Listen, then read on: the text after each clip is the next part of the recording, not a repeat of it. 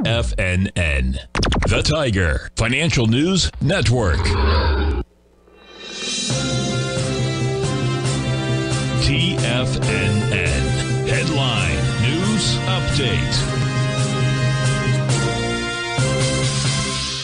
Good morning, everyone. Basil Chapman here on this Friday, August the 2nd, and we're looking at the Dow down 478 to 39,868. That 39,600 area is going to be a really important support coming to next week. Uh, but what we are looking at is that the nine period moving average still is not a negative, but we have had this double top. I'll talk about this when we return for the Tiger Technicians Hour. Let me just show you this. I had spoken about this for, in, for my subscribers.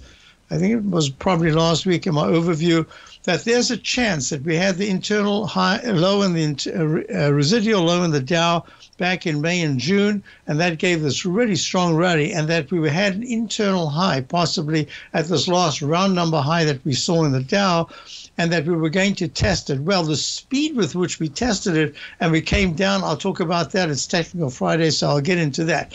So, what we're looking at here is uh, the Dow is down 441 very sharp move below the 14 period moving average. The weekly chart is still technically still very strong. It's the reason why I'm still positive overall. Looking at the S&P, where we did take, we did get out of our shorter term uh, positions. We had no choice. We wanted to uh, garner profits or at least have very tiny losses, and that's what we did. So now what we're looking at is the S&P is trading down 86. Now this is going to be very important. There's a slight variance in pattern the S&P is making lower lows and lower highs, and now it's a very sharp pullback below the key 5400 support. We're at 5362, down 83.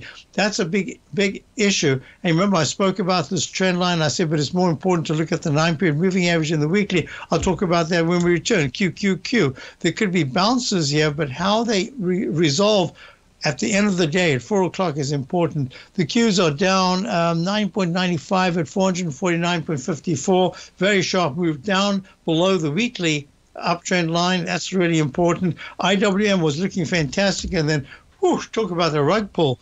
The uh, Fed pulled the rug under from under it, and here we are down 6.64 at 209 in the IWM. Oh, we've got to do this quickly. Bonds have had a huge move to the upside.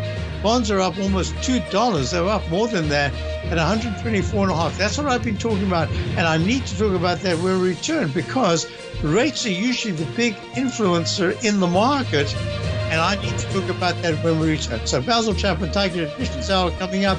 Technical Friday. See you in a few months. Check out Mobile.